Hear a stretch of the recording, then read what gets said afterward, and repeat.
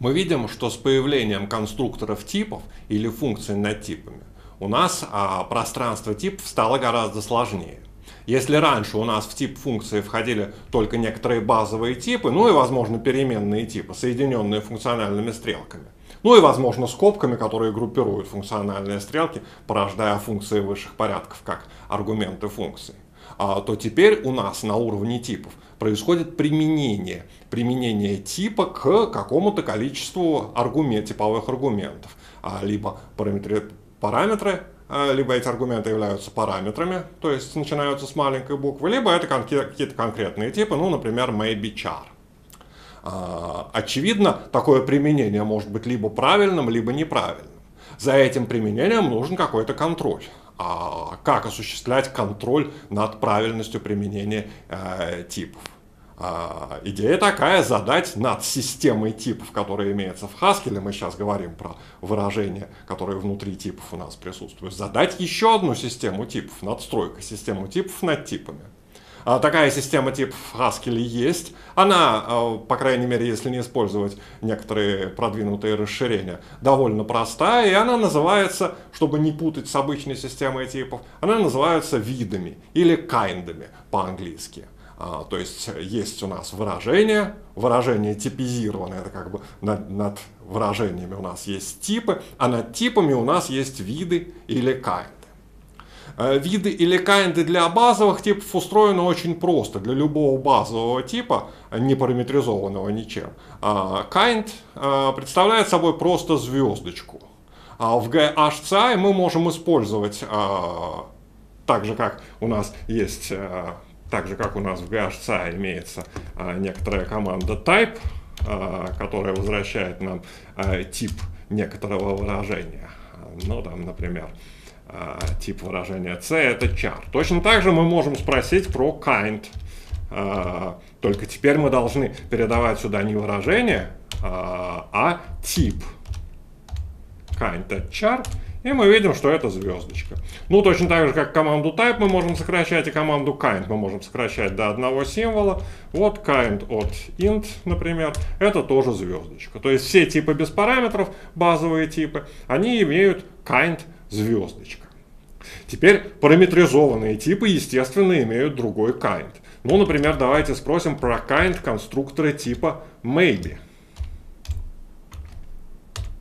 мы видим, что этот kind содержит функциональную стрелку, но эта стрелка уже а, более высокого уровня, а системы типов над типами. А, что означает, что а, конструктор типа maybe имеет такой kind. Это означает, что он ожидает какого-то объекта с кайндом звездочка, а мы знаем, что это какие-то базовые типы имеют такой kind, и возвращает значение с kind звездочка. Например, если мы спросим про kind выражение maybe int, применим maybe как операторная функцию над типами а, к а, типу int, мы получим следующее выражение maybe int. Почему мы говорим, что эта система используется для контроля? А, потому что, а, скажем, а, maybe мы не можем применять к двум аргументам. А, если мы запросим вот а, информацию о таком выражении, мы получим сообщение об ошибке, что maybe применен к слишком большому количеству аргументов. А, то есть kind действительно контролирует нам арность а, применения а, конструкторов типов к типам. А вот, скажем, а, either конструктор типов. Он двухпараметрический, поэтому вот такой вот вызов будет вполне хорош.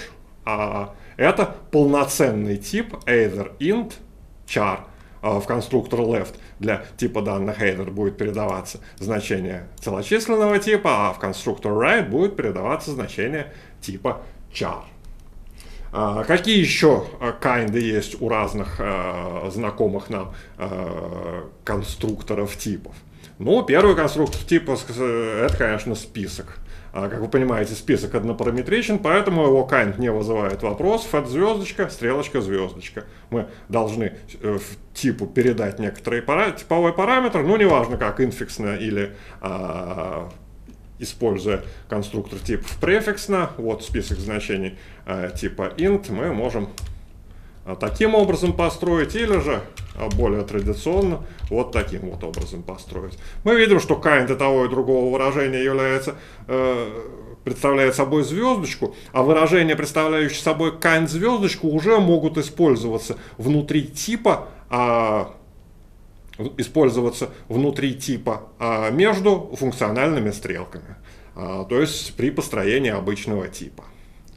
А, мы не можем, например, написать функцию вот такого вот типа int стрелочка список, потому что у списка неподходящий kind.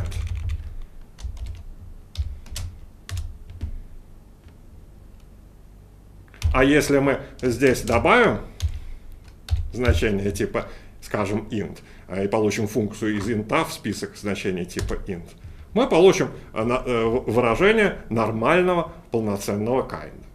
А, ну, мы, что еще может иметь kind? А, мы можем спрашивать про kind, э, скажем, а, пары.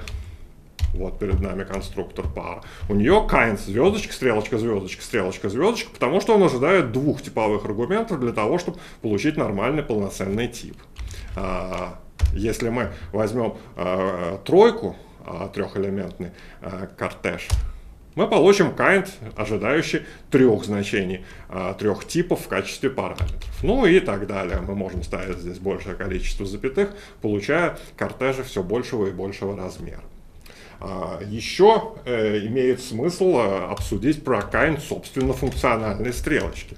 Мы с вами говорили, что функциональная стрелочка тоже может применяться в а, префиксном виде. Когда мы применяем функциональную стрелочку в префиксном виде, мы должны передать туда два типовых аргумента. Поэтому не вызывает удивления, что kind функциональной стрелочки это а, вот такой вот звездочка, стрелочка, звездочка. Передав туда два функциональных аргумента, ну, например, чтобы получить функцию из типа char в тип char, мы а, можем передать туда такую функцию. А чтобы получить функцию из типа char в список значений типа char, хорошо, мы можем передать вот такую вот конструкцию. Это тоже полноценное выражение, тоже правильный тип. Для того, чтобы сконструировать правильный тип, мы можем использовать любую цепочку а, а, конструкторов типов, а, но при этом мы должны следить, чтобы арность их применения была правильной, а результатом применения был бы тип с кайндом звездочка. Именно такой тип с кайндом звездочка мы уже можем использовать для типизации некоторых выражений.